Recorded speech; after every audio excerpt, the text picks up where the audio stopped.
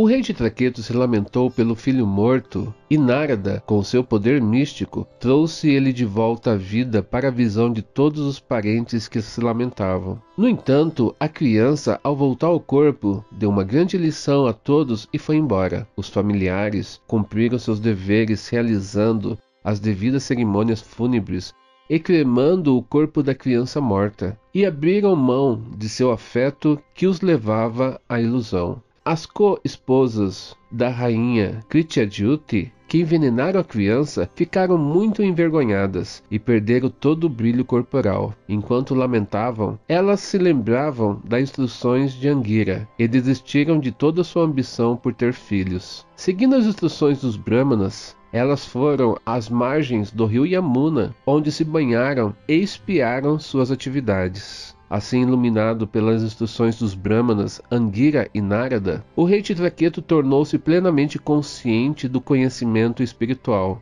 O rei banhou-se na água do rio Yamuna e começou a cantar o mantra que lhe foi dado por Narada. E sua perfeição em cantar esses mantras fez com que ele alcançasse os planetas mais elevados desse mundo material. Lá nos planetas celestiais, ele continuou praticando o mantra e conseguiu ter a visão do Senhor. Ele viu o Senhor pessoalmente. Anantadeva foi a visão mais bela que ele já teve. O Senhor Supremo estava bem adornado e acompanhado de grandes sábios, tais como os Kumaras, que mantêm seus corpos na forma infantil. Com lágrimas de amor e carinho, Titraqueto umedeceu repetidamente o local de descanso aos pés de lótus do Senhor Supremo, porque sua voz estava muito sufocada devido ao êxtase e por um tempo considerável ele foi incapaz de pronunciar qualquer uma das letras do alfabeto para oferecer ao Senhor orações adequadas. Ele, quando conseguiu controlar sua mente, fez as mais belas orações e o Senhor respondeu a ele com palavras muito doces, dando suas bênçãos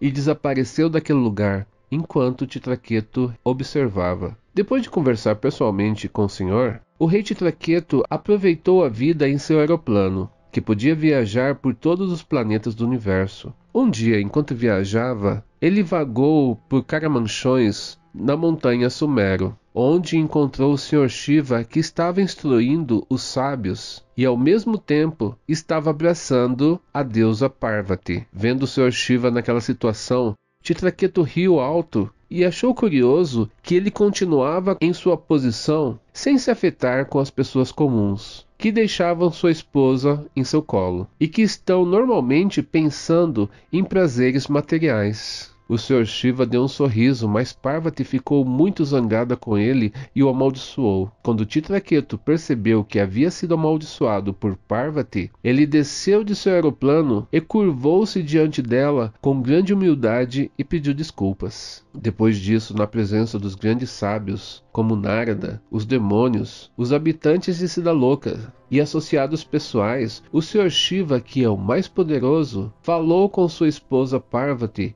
enquanto todos ouviam. Minha querida e bela Parvati, você viu a grandeza dos Vaishnavas? Sendo servos do Senhor Supremo, Hari, eles são grandes almas e não estão interessados em nenhum tipo de felicidade material. Eles somente estão interessados no serviço ao Senhor. Embora Titraqueto pudesse se achar injustiçado, ele não ficou com raiva da deusa, e por isso, em sua próxima vida, ele apareceria como demônio Vitrásura. Mas, embora fosse um demônio, ele era um devoto internamente, o mais elevado de todos. Por isso, não se engane ao ouvir a história de Vitrásura. Saiba que ele foi um rei na vida passada e conseguiu a bênção de ver o Senhor pessoalmente. E foi devido a uma maldição que ele passou alguns momentos na vida seguinte como demônio, mas logo depois ele foi liberado para o mundo espiritual.